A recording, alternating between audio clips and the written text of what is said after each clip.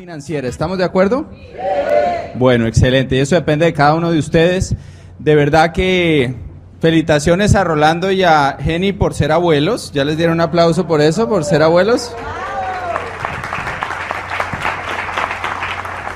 Y estamos felices de estar acá, nos encanta México. Hemos eh, venido realmente siempre a Yucatán, ¿no? Hemos estado dos veces en Cancún.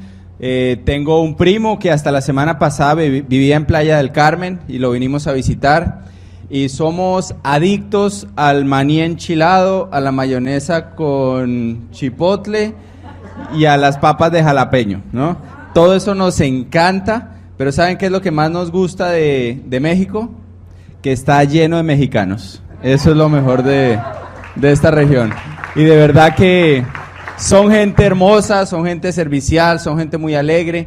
Y eso es lo que uno necesita para hacer este negocio realmente. Sí, hay que desarrollar otros talentos, hay que desarrollar persistencia, consistencia y algo para ser líder de lo que vamos a hablar esta noche.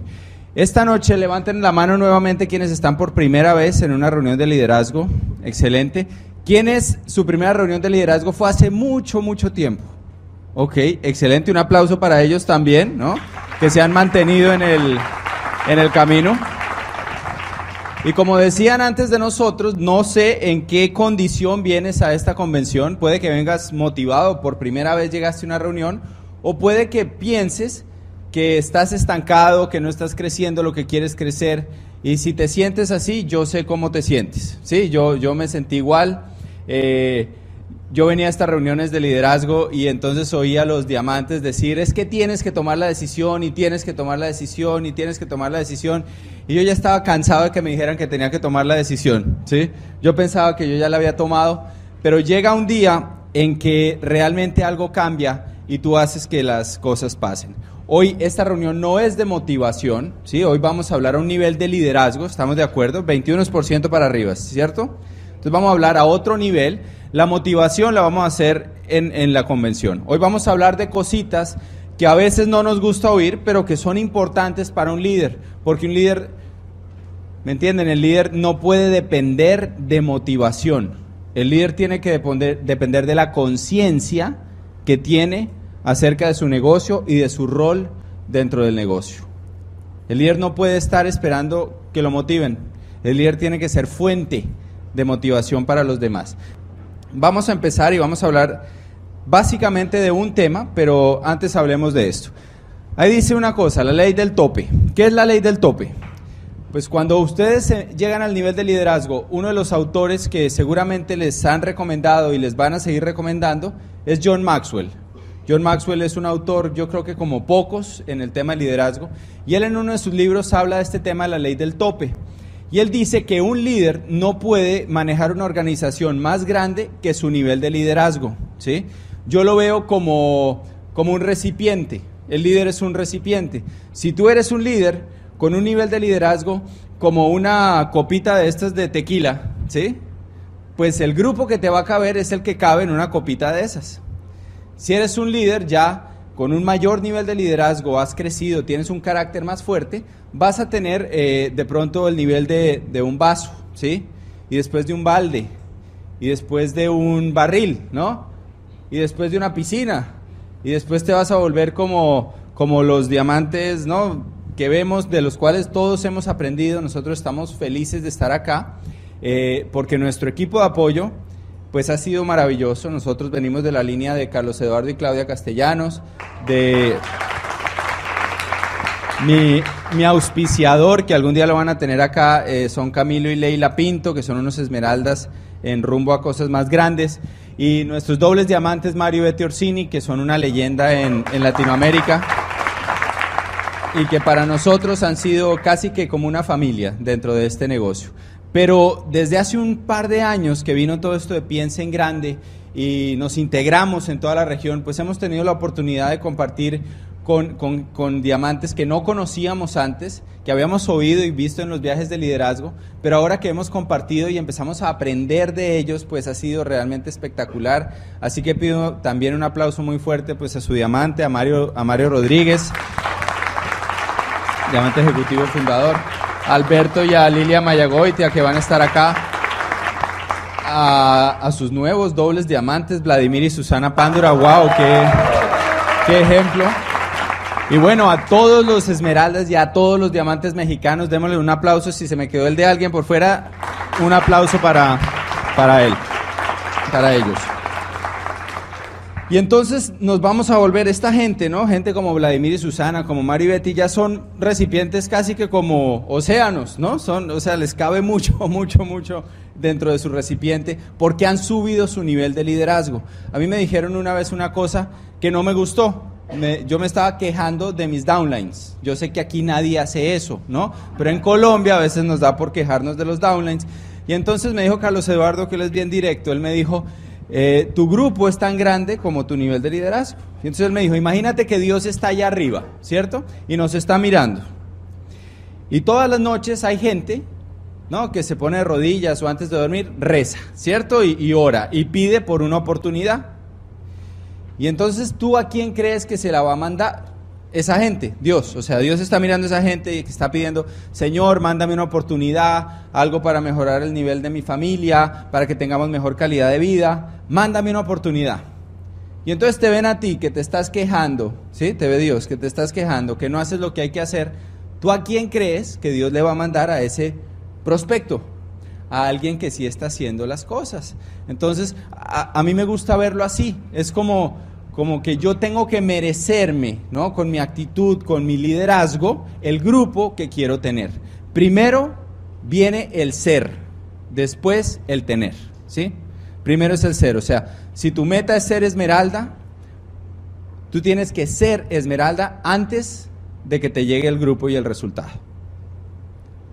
Así es que funciona. Así es que funciona. Entonces siempre que enfrentes algo en el negocio, pregúntate, ¿qué haría un esmeralda o un diamante si tú metes diamante en esta situación?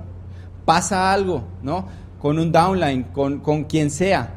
¿Qué haría mi diamante en esta situación? Y actúa de esa manera. Porque si tú haces eso, llega un punto en que la realidad se ajusta con lo que ya está creado en tu mente. Entonces, esa es la ley de, del tope y depende de la visión que tengamos de, del negocio. Ya estás al 21%. Seguramente tu visión hoy en día es mayor que cuando entraste al negocio, ¿estamos de acuerdo? Pero a veces, ¿no? Nos encontramos con que llegamos al 21 o a plata o a platino y nos conformamos y empezamos allá decimos a platinar, ¿sí? Estamos platinando ahí durante algunos años y, y eso tiene muchas veces que ver con nuestra visión. Y tú ya tienes a mayor visión, mayor responsabilidad. Tú ya sabes que este negocio te puede dar un resultado grande, porque lo has visto en gente igual que tú. Entonces, no te quedes por tener una visión corta. Tenemos que entender como líderes que todo tiene un proceso de siembra, cultivo y cosecha. Yo no puedo cosechar lo que no he sembrado. Cuando yo doy un plan, cuando yo auspicio, yo siembro. Cuando yo conecto a esa persona al programa de capacitación, lo entreno en, estrategias comerciales de productos, eh, lo entreno como un líder, ¿no? Formo su carácter, estoy cultivándolo. Y va a llegar el día en que, en que coseches. A nosotros nos ha pasado en organizaciones que tenemos que llegamos a, ciudades donde tenemos grupos y se nos presenta gente, ¿no? Hola, mucho gusto, y, y uno lo saluda y dice, ¿Y tú qué nivel tienes? Y dicen, no, yo soy rubí, yo soy zafiro, yo soy platino. Ah, qué bueno, ¿y quién es tu diamante? Y nos dicen, tú, ¿no? Quedamos como, wow. Pero son organizaciones en las que hace mucho tiempo sembramos y sobre todo cultivamos. Entonces no, no, no puedes, ¿me entiendes? Todo tiene, tiene un orden. Las herramientas más importantes al nivel de liderazgo son edificación y promoción edificar a tu equipo permanentemente, edificar la compañía, los productos, el programa de capacitación, tu crossline, tu compañero de equipo, edificar tu pareja, ¿no? Cada mañana, el tema que va a tratar por la noche es un tema que ha impactado muchísimas parejas a nivel de, de negocio en toda Latinoamérica y en Estados Unidos, y es una charla enfocada a cómo podemos trabajar mejor en pareja, que es uno de los retos, ¿cierto? Solo pasa en Colombia. Las mujeres ah, dicen así, los hombres se quedan quieticos, quieticos. Mañana vamos a hablar de por qué pasan esas cosas.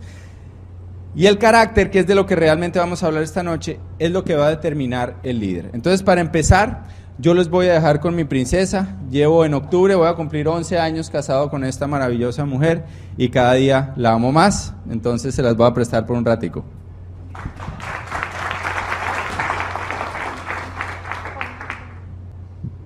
Bueno, buenas noches. ¿Cómo están? Bien. ¿Bien? Ok. Eh, de verdad que para nosotros es un placer estar aquí con ustedes. Estamos súper, súper emocionados, ¿no? Eh, desde, desde que calificamos Esmeralda, uno de nuestros sueños era venir a México, ¿no? Y ser oradores. Y bueno, se dio, por fin se dio y estamos, estamos de verdad muy agradecidos con la vida, con el equipo de apoyo, con sus diamantes, pues por confiar en nosotros para, para esta labor tan importante como es esta convención. Y bueno, es la primera convención del año, ¿no? A mí me encanta eso. Nosotros, por tanto, tenemos convenciones en septiembre. Buenísimo tener una convención empezando año fiscal, porque como les decían sus líderes al principio, este es el comienzo de su negocio. Y tienen que verlo así. No importa dónde estén, no importa lo que haya pasado el año que quedó atrás, Necesitamos empezar nuestro negocio ahora, meterle toda la energía. Estos meses son claves. No se duerman, bueno, porque a veces nos quedamos como, bueno, ya, pues tomémonos unos días y no, y se va, se va a septiembre, se va a octubre. No, desde ya hay que empezar a trabajar. Septiembre, octubre y noviembre son los meses de siembra más importantes dentro del año fiscal, porque de ahí es que tú vas a determinar si te vas zafiro, si te vas esmeralda o si te vas diamante. Pero estos son los meses donde hay que cultivar. Y a Fer se le olvidó contarles algo, pero la decisión de llegar a diamante la tomamos aquí en México. La tomamos en Playa del Carmen. Estábamos los dos en la playa un día sentados y dijimos, no más, ya no más. Vivimos demasiado bien, estamos demasiado acomodados. Necesitamos ponernos a trabajar, cambiar de pin por el grupo, para darle el ejemplo a la gente, ¿no? Para decirle a los jóvenes que sí se puede hacer este negocio joven, ¿ya? Y que es buenísimo llegar a los niveles grandes porque uno puede disfrutar la vida, ya, ya van a ver cómo la hemos disfrutado. Pero bueno, hoy vamos a hablar de carácter. Me encanta esta, esta frase, siembra un pensamiento y cosecharás una acción. Siembra una acción y cosecharás un hábito. Siembra un hábito, cosecharás un carácter. Y si siembras un carácter, cosecharás un destino.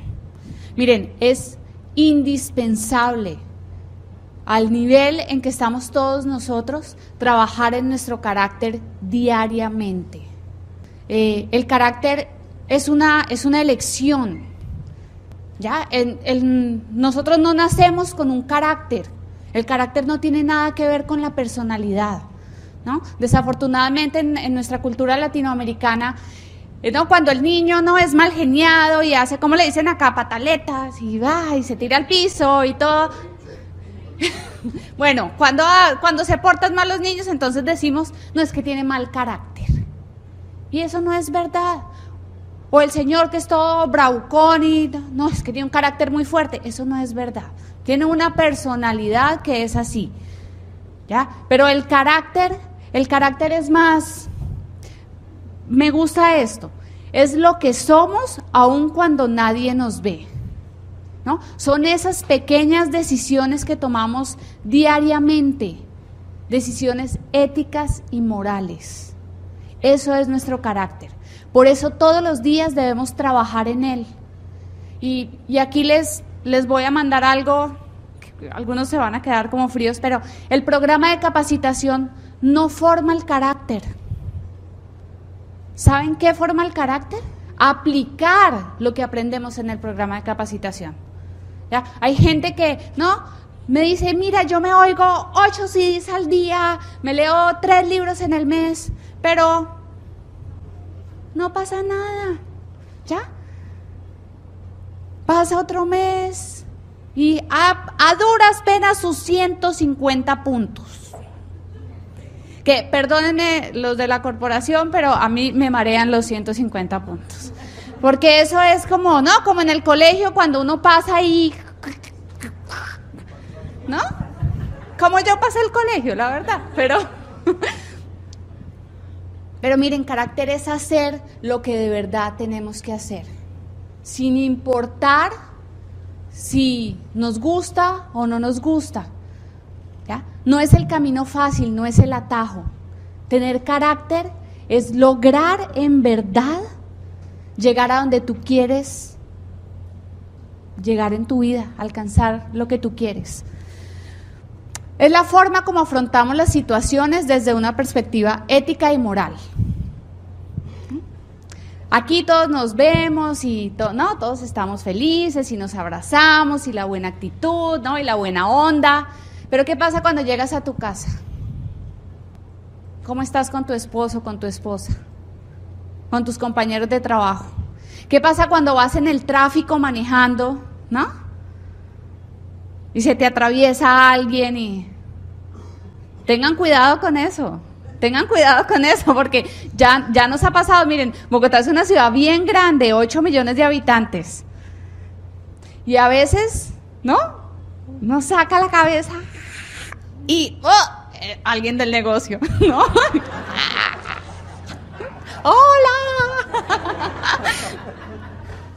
Tú no sabes dónde estás. Mira, Betty Orsini me enseñó a mí desde muy chiquita en el negocio. Me dijo, Cata, desde el momento en que tú calificas plata, tú estás en una cajita de cristal. Todo el mundo te está viendo. Así tú no te des cuenta. La gente te mira. ¿Por qué? Porque tú eres ese modelo que la gente quiere llegar. ¿no? Y si tú estás en la orientación con mala actitud, con no quejándote, haciendo caras, te sales, hablas por celular, vuelves, ¿qué va a pensar la gente? ¿Este es mi líder? ¿Esto es lo que yo quiero ser? Tu vestimenta, cómo te ves, cómo te comportas ante los demás. Todas esas pequeñas cosas tienen que ver directamente con el carácter. La forma en que un líder trata con las circunstancias de la vida dice mucho de su carácter. Las crisis no necesariamente forman el carácter, pero sí lo evidencian.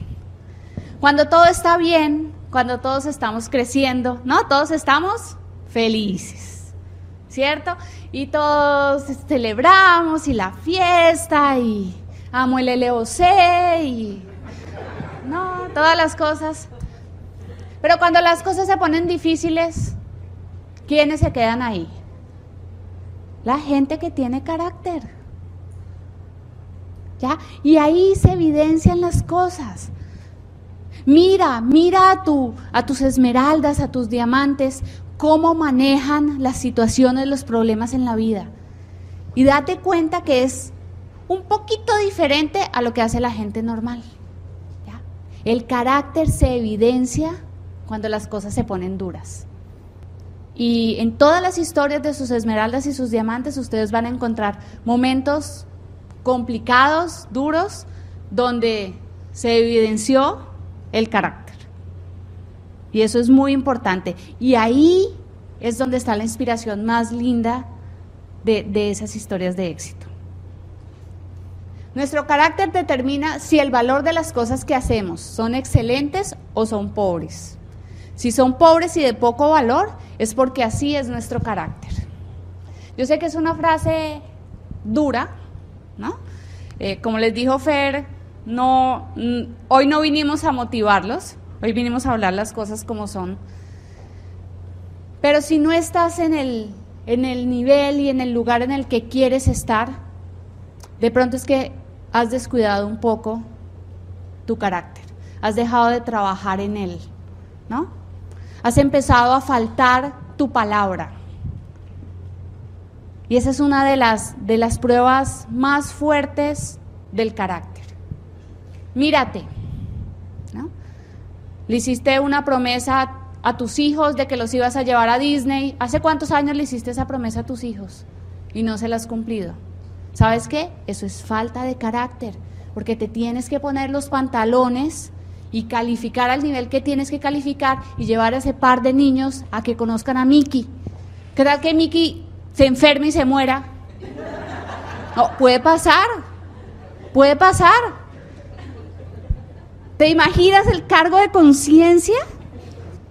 Pero, pero bueno, de verdad, necesitamos trabajar fuerte en el carácter. Y yo quiero, yo quiero contarles, yo quiero explicarles esto, esto del carácter como, como Fer me lo enseñó a mí, como nos lo enseña a, todas las personas del grupo. Fer es mi gran maestro en este negocio. Eh, es un hombre increíble que me ha apoyado en todo, pero sobre todo ha tenido la paciencia para enseñarme. No he sido una buena alumna, como algunos de ustedes, ¿no? He sido, yo creo que su alumna más dura, pero, pero ha valido la pena. Ha valido la pena el esfuerzo. Y, él nos explica esto del carácter. Y él nos dice, miren, eh, acá le dicen lavamanos. Ah, ¿Sí? Ok. Bueno, pues esto del, liderazgo es como, es como si ustedes tuvieran un lavamanos. Imagínense que yo tengo acá un lavamanos. ¿Y cómo se llama lo que tiene el, el tapón, cierto? ¿Sí? ¿Le dicen tapón acá? Ok. Bueno, y entonces el lavamanos tiene un tapón. Cuando el tapón está abierto, ¿qué pasa? El agua se va por ahí, ¿cierto? Pero cuando uno baja el tapón, ¿qué pasa? Ahí se empieza a llenar el lavamanos. Pues es lo mismo, ¿ya? Si en este negocio tú no eres un buen tapón de tu negocio, todo el trabajo que tú hagas se va a ir uh, por la cañería. Porque no eres un buen tapón. ¿Qué es ser un buen tapón? Ser un buen tapón es hacer el volumen que te comprometiste a hacer. Ser un buen tapón es estar en todos los eventos. Es comprar tu programa de capacitación, tu paquete de INA. Ser un buen tapón es no estar, ¿cómo, les explico esto? No estar tomando decisiones de las cosas serias del negocio todo el tiempo. Les voy a poner un ejemplo. El año en que decidimos irnos Diamante Fer y yo, una de las cosas que decidimos es que no íbamos a aceptar ninguna invitación para hacer oratoria por fuera del país. ¿Por qué? Porque eso inevitablemente pues son unos días que uno se toma y desenfocan. Y tomamos esa decisión ya. Entonces, cuando llegaban las invitaciones, no nos teníamos que sentar Fer y yo a ver si sí o si no. Esa decisión ya estaba tomada. Fer y yo tomamos la decisión de estar en todas las convenciones y en todos los eventos del negocio. No es que llega la convención y estamos diciendo, ay, ¿será que esta convención sí vamos o no? ¿Tú qué dices? ¿Será que vas tú mejor? O no, esa decisión ya se tomó. Eso es ser un tapón en tu negocio. Y cuando tú eres un buen tapón de tu negocio, ¿no? Tú das planes y planes y planes y el lavamanos se empieza a llenar, se empieza a llenar, se empieza a llenar. Y tú trabajas y trabajas y trabajas y sigue llenando hasta que ¿no? Empieza a botarse ya el agua, empieza ¿no? a calificar personas en tu grupo y así se llega a los niveles grandes en este negocio. Mario nos va a matar porque Mario nos dijo que viniéramos a decirles que ustedes eran águilas, que ustedes eran, ¿no? Los superpoderosos y yo les digo, sean tapones. Hay que ser un buen tapón.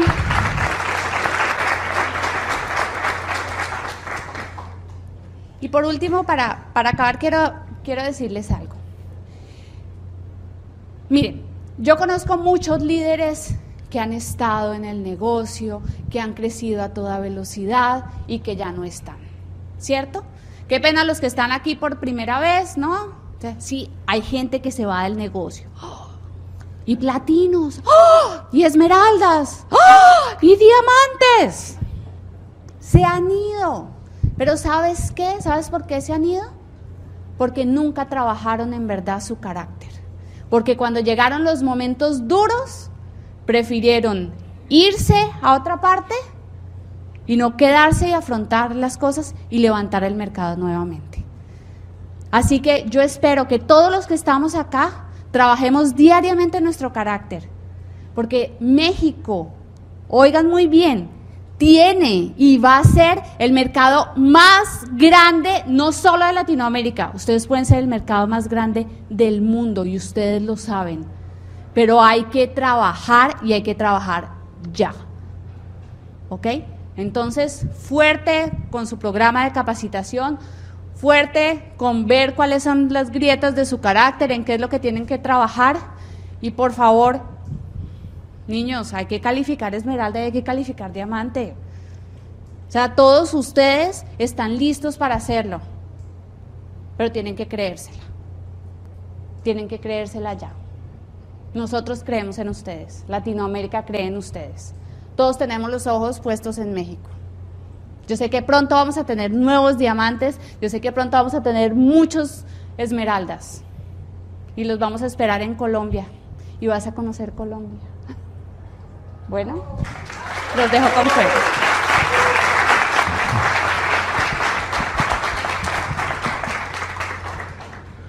Bueno, muy bien. ¿Ustedes entienden que toda Latinoamérica quiere que México explote? ¿Sí? ¿Y entienden que no solo es porque somos muy queridos y los queremos mucho? ¿Entienden que necesitamos que México explote? Si México y Brasil llegan a los niveles que van a llegar, o cuando lleguen a los niveles que van a llegar, los bonos, los viajes, todo se va a multiplicar por mucho. Entre Latinoamérica somos un pozo, ¿me entienden? Y si a la corporación le sobran a fin de año, ¿no? 200 millones de dólares, eso se vuelven bonificaciones, viajes, premios, incentivos para usted y para su familia y para la mía. Entonces estamos muy interesados en que México explote, ¿me entienden? Yo tengo una buena familia. Entonces, pa'lante gente. Esto es compromiso de todos. Estamos todos en el mismo barco, ¿me entienden? Todos, somos hermanos dentro de este negocio de, de y no somos colombianos, mexicanos, no, somos una bandera, somos Latinoamérica y tenemos que sentirnos así. Entonces, bueno, vamos a seguir con, con nuestro tema. Esto me encanta a mí. El carácter es una elección, es algo que uno elige día a día con las cosas que uno hace. El carácter comunica coherencia, no es hablar, ¿no? Hablar es muy fácil, hablar es cualquiera lo hace. ¿Quién ha tenido a alguien en su grupo que iba a ser su primer diamante y no sabrá Dios dónde está? ¿Sí? Todos hemos tenido uno de esos, ok. Hablar, o varios, sí. Hablar es muy fácil, muy fácil. Lo importante es lo que hacemos. Cuando tú estás identificando los líderes de tu grupo, y esto es algo que le da trabajo muchas veces a los líderes, ¿no? Al líder muchas veces le cuesta identificar a sus futuros líderes, porque se ponen a ver lo que dicen y no lo que hacen. Entonces yo nos sentamos a asesoría y vienen y nos dicen, no, pero es que fulano tiene un potencial impresionante y está, me dijo que lo quiere hacer y que va a hacer 1200 puntos este mes y que no sé qué. ¿Y cuánto hizo el mes pasado? No, 150. ¿Y el anterior? 151. ¿Y el anterior? 150.23. Ok. ¿Y tú cuentas con esos 1200 puntos para tu calificación? Entonces se quedan así, ¿no? Porque tenemos que ver como líderes lo que la gente hace y no lo que la gente dice. El que es líder no es líder porque tú lo empujas a ser líder, es líder porque levanta la mano y dice, yo soy líder, ¿sí? ¿Y cómo lo hace? Poniendo el trabajo, siendo capaz de auspiciar sin que tú estés ahí, siendo capaz de hacer eh, cosas comerciales, ¿no? De, de Moiskin, de Nutralite, de, de hogares ecológicos, sin que tú estés ahí. ¿Sí? Ese es el, el líder, el que es capaz de hacer las cosas sin que tú lo estés empujando. Y eso evidencia el carácter. El carácter comunica confianza y esto a mí me encanta. Miren, no se trata en nuestro negocio de ser un rayo, ¿sí? No hay que ser un rayo que encandila y que no vemos, no. De esos, como dijo Cata, han estado en el negocio y muchos ya no están. No se trata tampoco de ser una estrella fugaz. No, que la gente le diga, ay, tan linda la estrella, ay, se acabó. No, no se trata de ser una estrella fugaz. Se trata de ser una vela que se mantiene prendida en el tiempo. A pesar de la lluvia, a pesar del viento, a pesar de lo que sea, tú debes ser esa velita que se mantiene prendida. ¿Me explico? Que cuando hay viento, cuando hay tormenta, tú quieres que la gente se voltee a verte a ti. Porque sabe que ahí va a encontrar luz que le va a iluminar el camino cuando está oscuro. Eso es lo que necesitamos ser en el negocio. Si algo puedo decir yo en el negocio, yo no he sido el más rápido, con Cata no hemos sido los más rápidos, no hemos sido los más potentes, no hemos sido los más fuertes, no, para nada. Pero siempre la velita ha estado prendida. Siempre mi gente ha sabido que puede confiar en mí. Siempre cuando ha habido situaciones saben que pueden sentarse conmigo y las podemos hablar como líderes con transparencia, ¿sí? Eso es, es lo más importante que tú como líder puedes aportar a tu organización.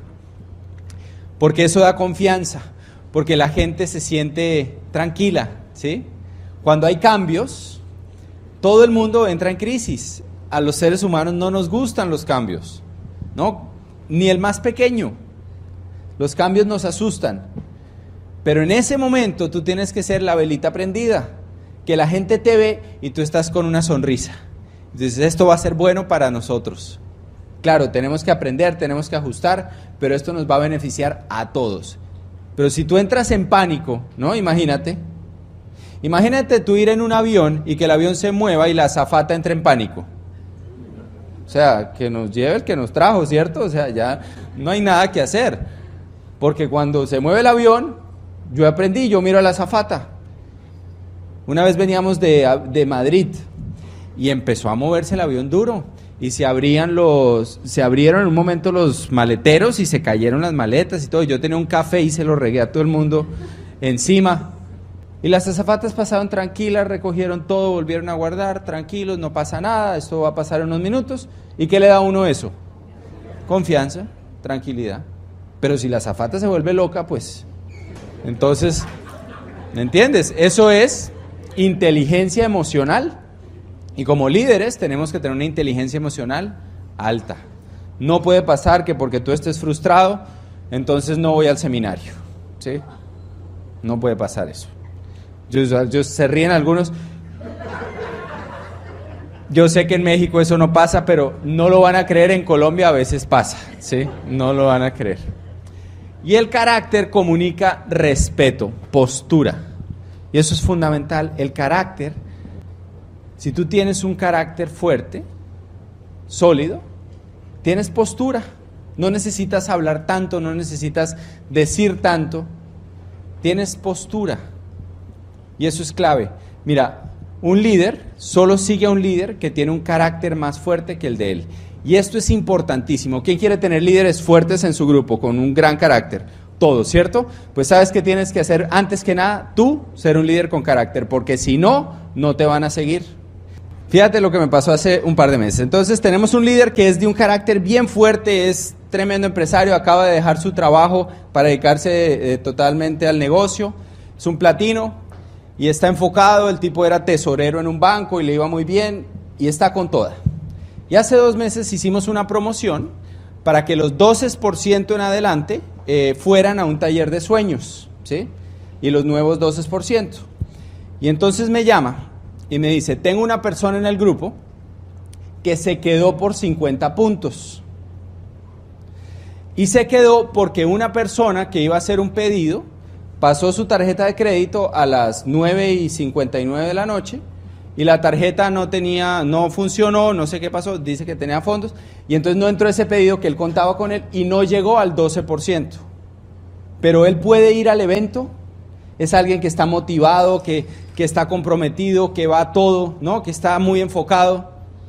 Y ahí es que la vida y el negocio te va a poner en situaciones que te van a probar tu carácter. Yo sabía cuál era la respuesta correcta, porque en términos de carácter uno realmente siempre sabe, ¿cierto? O sea, se abren dos caminos. Tú siempre sabes cuál es el correcto, pero sabes cuál es el más fácil también. Y a veces nos tentamos a irnos por el más fácil. Porque nos empieza a hablar una vocecita y nos dice, pero es alguien que le serviría al taller de sueños, realmente le haría mucho bien.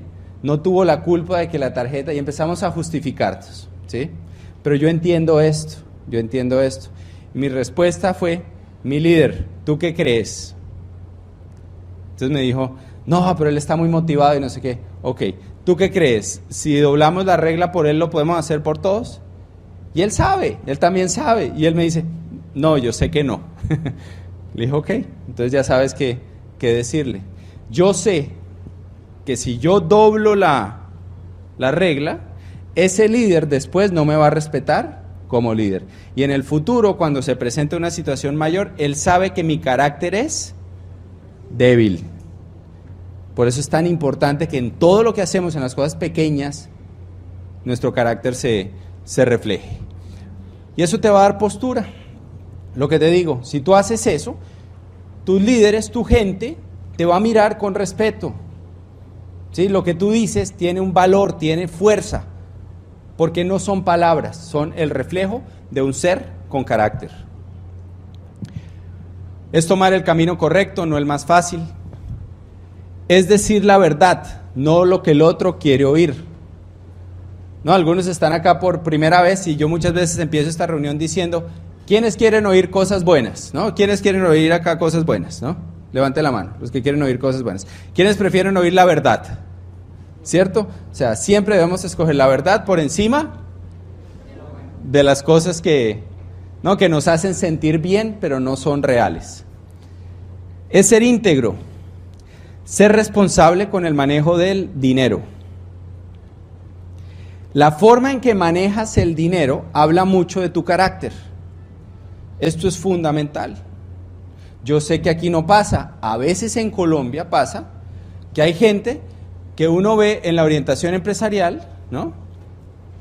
Que llega tarde para no pagar y se hacen afuera y entonces escuchan desde afuera y cuando ya se levantan las mesas ahí, entran.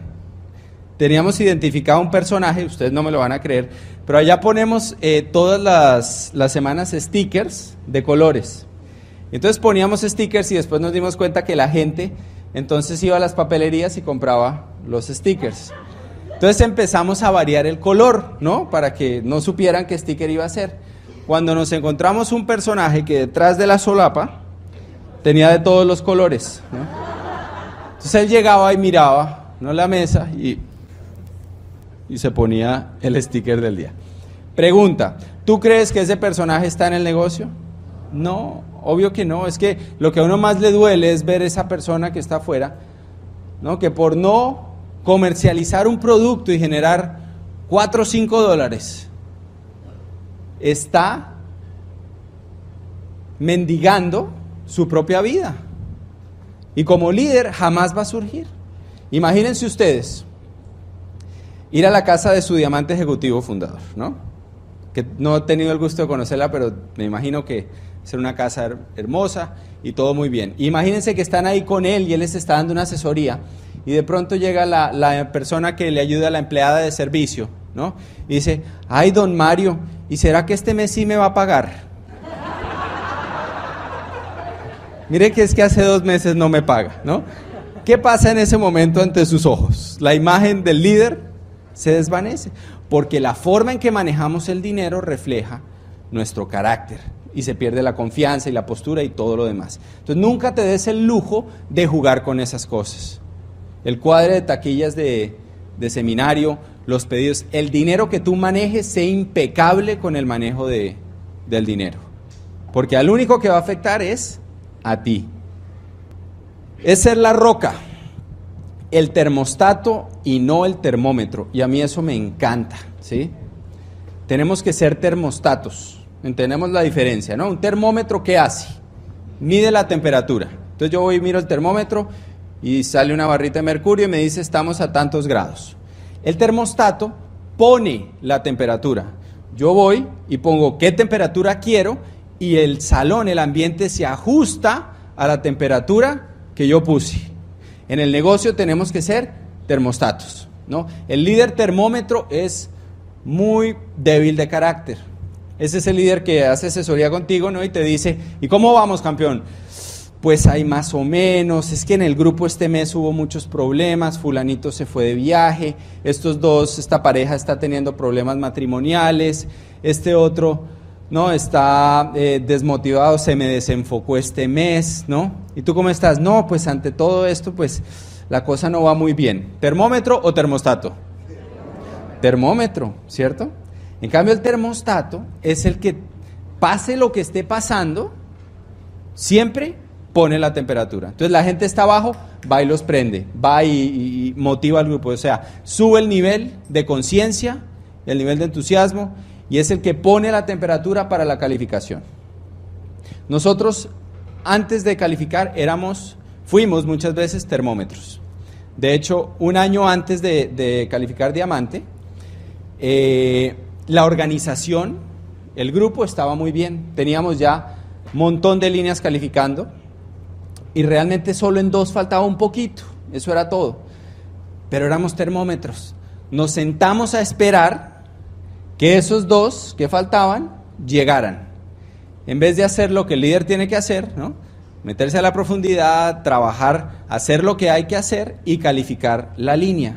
Tú no calificas la persona, sino la línea. El año siguiente las condiciones no estaban tan bien. Estaban peor que el año anterior en que no nos hicimos diamante. Pero cuando nos fuimos diamante, el termostato era diferente, por lo que decía Cata. Tomamos una decisión irrevocable. Yo me acuerdo aquí en las, en las playas de, de Playa del Carmen, estar sentados ahí en diciembre del 2008. El negocio del grupo no estaba como queríamos, pero dijimos, vamos a hacer un compromiso. No vamos a permitir que la duda entre. En cuanto alguno diga algo que, genere duda o negativismo, lo vamos a cerrar, porque la calificación está hecha. Y fue impresionante lo que pasó en los siguientes meses. O sea, pasamos de, básicamente tener dos líneas calificando, una en Estados Unidos, de hecho, que no contaba para los bonos y, los premios, a, en diciembre, a en febrero tener cinco, y en marzo 6. ¿Por qué? Porque nos volvimos termostatos y dejamos de ser termómetros. No sé si a alguien le ha pasado que está dejando que su futuro quede en manos de sus downlines. ¿sí? Y eso no puede pasar. Eso no puede pasar. El crecimiento que tuvo Mario, esa calificación que hizo en el tiempo que lo hizo, no fue porque la gente de su grupo finalmente despertó, fue porque él tomó una decisión y fue un termostato con su grupo. Carácter en Amway. Hago mi volumen independientemente del grupo. O sea, soy de las personas que dependiendo de lo que haga el grupo, entonces yo hago mi volumen. No sé si tienen gente así, que está último día del mes, ¿no? Metiendo, bajando puntos cada 15 minutos, no ha hecho su pedido, pero está esperando a ver si mi grupo hace 2.250, ¿no? Entonces yo completo.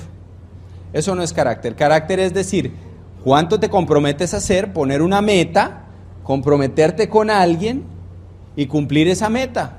¿Cuánto vas a hacer? Tienes que ser lo que dices y hacer lo que dices. Esto es algo que estamos promoviendo fuerte en nuestro grupo. Hace unos ocho meses ya da un resultado espectacular. Y es que los líderes, no solo los 21, sino los 12%, los constructores, cerramos el día 15 de mes nuestro volumen. Dijimos que íbamos a hacer 600 puntos, pues el día 15 de mes están hechos, ¿sí? Y es impresionante lo que ha pasado. Una parejita del grupo que llevaba siendo 12% fundador como un año, eh, a veces llegaba al 15%, ¿no? Y volvía a bajar al 12%. Empezamos con esto y al día 15 estaban al 15, o sea, tenían sobre 4 mil puntos. Adivinen qué pasó. Dijeron, es lo máximo que habíamos hecho en la historia y lo hicimos en 15 días, nos falta la mitad del mes. Ese mes se calificaron. O sea, toma tiempo, ¿sí? El líder tiene que dar el ejemplo primero, pero es un, algo que para nosotros ha funcionado súper bien, que la gente empiece a cerrar el 15 de mes esa persona que tú crees que es líder, ¿compra solo su paquete de capacitación de Lina o es alguien que hay que estar llamándolo para que lo compre? Si lo compra solo, pues eso es una muestra de carácter. El que lo compra rápido, apenas sale, lo escucha y lo promueve, ese es el que va a llegar a cosas grandes. ¿Soy quien decide mi agenda y construyo mi futuro o dependo de mi upline? O sea, yo manejo mi agenda o estoy esperando que me llame mi upline para empezar a cuadrar los planes y hacer lo que hay que, que hacer. ¿Compro mi boleta de convención desde la anterior? ¿O espero a última hora? Esto del lavamanos que les contó Cata salió por, por un, un empresario del grupo que salió de una convención y se puso la meta de ser plata en la siguiente convención. Y saben que no fue a la siguiente convención. Y ahí fue que salió el cuento del tapón. Porque ¿cómo es posible que uno desarrolle y crezca una organización si ni siquiera uno sabe que cuenta con uno para estar ahí en la próxima? ¿Pago mi OE y llego a tiempo? Y ojo a esta, ¿soy cumplido con mis boletos de seminario? O sea, el tema del dinero de seminarios, ¿lo manejo bien, correcta y profesionalmente? ¿O mi upline me tiene que estar llamando, ay, mira, cuadra tus boletas? Nosotros nos pasó hace unos meses una situación con esto. Y eso siempre va a dañar la relación con, con la gente. O sea, el manejo otra vez del dinero, impecable. ¿Y cómo lo mejoro? Busca grietas. ¿Cuándo dijiste algo que no cumpliste?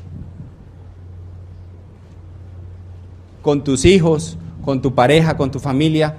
¿Cuándo has dicho algo que no, que no llevaste a cabo? Busca patrones, si es algo repetitivo o fue algo ocasional. Y si encuentras patrones, afrontalo, discúlpate con quien te hayas que disculpar, con tu upline, con tu downline, con tu pareja, con tu hijo, por esas grietas. Y toma la decisión, lo más importante, podemos crear un mejor futuro. Y yo voy a acabar con una historia rápida eh, que pasó en, en Santorini, en Grecia. Como premio de diamante, nosotros nos fuimos con una pareja de diamantes de Costa Rica y nuestros dobles diamantes Mario Betty Orsini a Grecia, a Santorini por las islas. Y estábamos allá y había un camino por el cual subían, uno podía subir o en burro o en teleférico. Y nosotros subimos por telesférico, pero al regreso estaba muy lleno el telesférico. Y entonces nosotros vimos el atardecer y dijimos, vamos a subir por el camino, pues caminando, y se veía corto. Empezamos a bajar, ¿no? Y antes de, irnos le dijimos a, Mario Orsini, le dijimos, Mario, vamos a ir por ahí. Y él nos miró y nos dijo, ¿por qué? no, pues bonito, el atardecer, el sol, todo, vámonos por ahí. Yo, no, váyanse, ¿sí? Y empezamos a bajar y en la mitad del camino, ¿no? Ni siquiera en la mitad, llevamos tres curvas, nos dimos cuenta que era más largo de lo que pensábamos y ninguno pensó qué espera uno encontrar en un camino por donde van burros. ¿Qué hacen los burros? ¿no? Y esto es que no es que era un poquito por aquí y por allá, es que era un tapete, ¿no? Y olía fatal, y llegamos, ¿no? Cansados y además, como ya era atardecer, empezaron a subir los burros y subían y nos empujaban y nos tocaba subirnos al borde y pasaban y nos untaban las babas. O sea, fue poco romántico, yo me lo imaginaba bien diferente. Y llegamos abajo y, y además nos demoramos un montón. A mí todavía me duele una rodilla de esa caminada que fue hace un año y medio. Y nos ven la cara que traíamos.